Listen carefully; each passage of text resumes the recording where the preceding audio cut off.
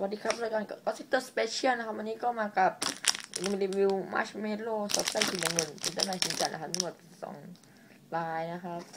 ก็ที่ของแถมมาให้นั่นก็คือนี่ครับ ภาพฮอลโลแกรมนะครับ เป็นภาพลายที่มาหินกับสี่สิบแบรนด์ครับ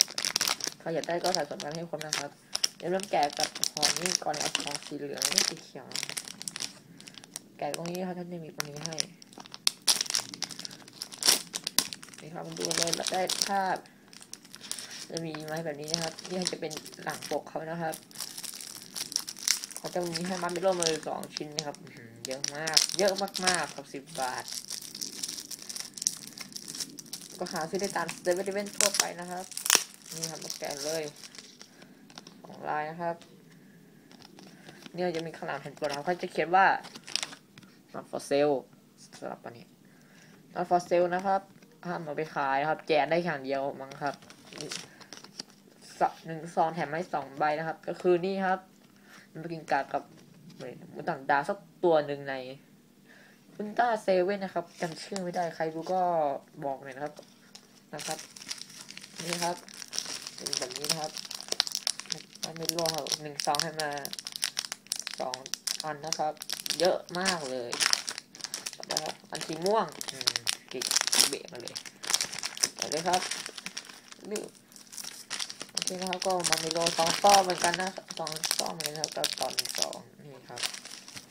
แกะเลย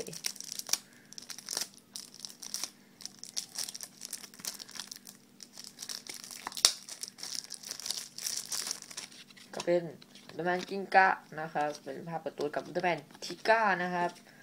อืม จริงก็ไม่ค่อยชอบภาพข้างหน้าผมไม่ชอบแบบตัวละครแบบนี้ครับเขาจะมี status มาให้แบบนี้นะครับแล้วพวกนี้จะมีแบบค่าพลังในพวกนี้มา แต่ว่าถ้ามองข้างหลังผมจะชอบนะมันสวยดีนะครับ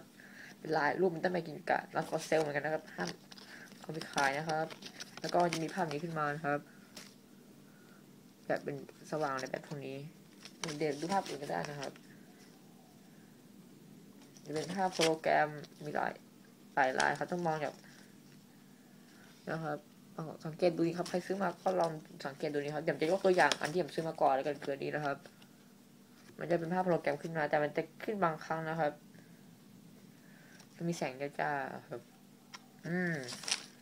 เก็บกันให้เขานกับ 40 แบรนด์นะครับ วันนี้ก็กัสเตอร์สเปเชียลก็จบแค่นี้ครับ วันนี้ก็ขอลาตัวไปก่อนนะครับ สวัสดีครับ บ๊ายบาย